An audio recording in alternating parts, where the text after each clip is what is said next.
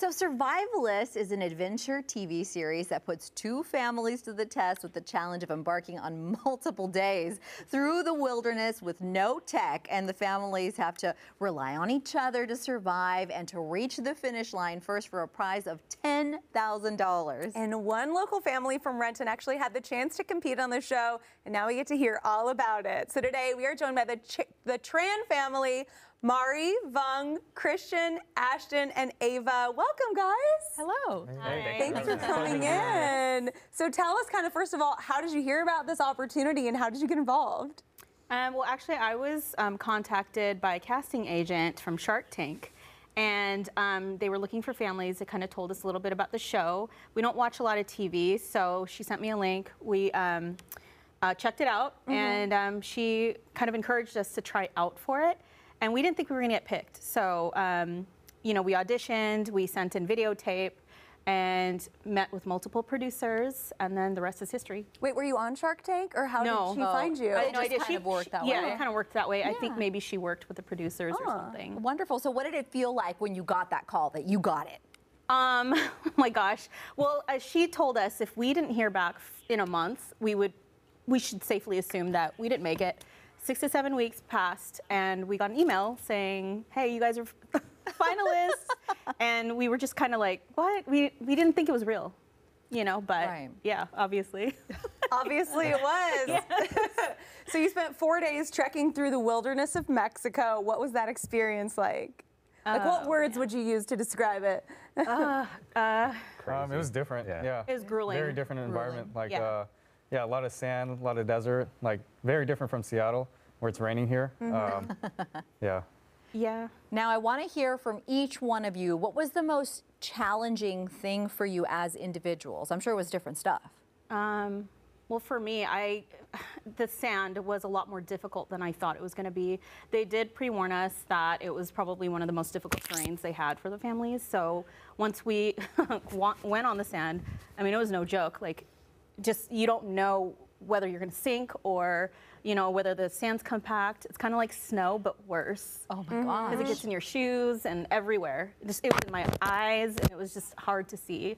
Walking in sand is hard. Yeah, Let yeah. alone for four days. Yeah, yeah. Yeah. What about you, Dad? Uh, for me, it was the, the board and the water because I can't swim. And, Oh. uh, yeah, no, we're like out there, and I was like, oh man, I was so scared. Then uh, lu- lucky, uh, you know, our kids helped us out here and there too. So Wonderful. What about you guys? Uh, for me, it was like being placed out of the real world, like no phone, no communications outside, no real food. It's just like a di- very different environment. It's like a side quest in life. Yeah. Wonderful. You? Well, for me, it was, yeah, the technology without it, it was kind of hard. Yeah. Yeah. And then also, a couple of the days, me and my brother had to carry my mom and Ava's bag to the finish line pretty much. And it was like 40 pounds each bag. So it was hard to walk in the dunes with those heavy Yeah. bags. Yeah, but you guys helped your family. That's beautiful. Yeah. All right. Ava, what was hard for you? Um, It was all just challenging. Yeah. Yeah. yeah, I can imagine. I want to know kind of how the experience helped bring your family closer together. Well, I think just putting us in the middle of nowhere with no tech, it was just, it kind of forced us to kind of face our issues head on. And um, we, you know, we didn't think about it at the moment, I guess, but just, it- uh, we had a lot of bottled up feelings inside. So just kind of like um, we didn't realize what the other person was going through and the hardships that they, you know, um, were facing. And um, just not communicating is just really detrimental to a relationship, right? So, so that really taught us to really face our, our um, fears and all that.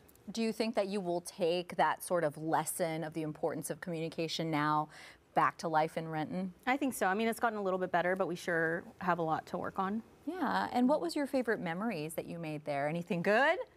Um, you know, I just the fact that we just kind of like hung out because we it's hard to get all five of us together. yeah, we're always so busy. Yeah, and you know schedule. he's off at college, um, and you know he's going to go to college soon, and it's kind of like, um, you know, we we're really into family, just being together, and just knowing that they're, you know, going out on their own, and you know it's it's kind of hard. Yeah. What would you say is like the biggest thing that you learned from the whole experience? Um, you know, never give up. We can always go through hard things. You know. and- Yeah. And work together Yeah, as a team adversity. too. Yeah. Yeah. Who was like the VIP? Who was the who was the strongest, the most helpful? Who came through when you didn't expect it? Oh my gosh. I think uh, it's Christian Yeah, I and think I have Ava. to say myself. Yeah. Yeah, Christian, we love it. confident and what- king. tell us a story about that. Um, yeah, so this is like the first time I've like gotten this mad and like angry, but I wanted that money, you know, and like especially with like our family too. I was like, yo, hurry up, you know, let's go, let's go, let's go. Yeah. You know, we can't back down. Like, I don't know. I guess uh, I'm a competitive person. I wanted our family to win and uh, didn't want to look bad. So yeah. Sure. And how much Yeah. money was up for grabs?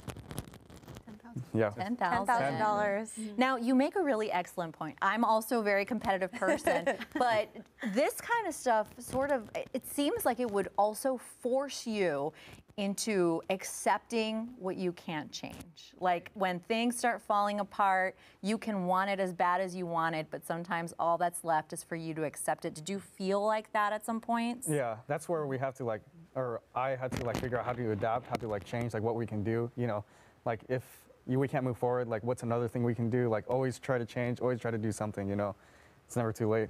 Never give mm-hmm. up.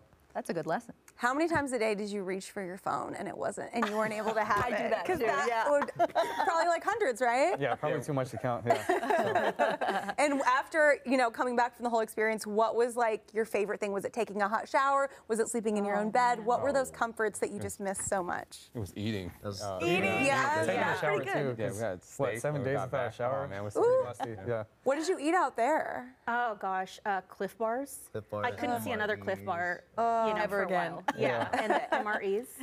So we had MREs. Um, Christian and I, they didn't show this on camera, but we did a challenge. So we ate really like weird stuff like rattlesnake and these eels that look like worms, and Yeah. it was just really weird. So, I mean, it, it was fine. I was hungry. So it was okay. Well, we applaud the lessons that you learned and your bravery, and you guys should definitely check this out. You can catch the Tran family on season three of Survivalists. It's streaming on BYU TV, and we do have a link uh, for more information on our website, fox13seattle.com slash studio 13 live. Thank Thanks you. again. Thank you. Thank you. You guys were awesome.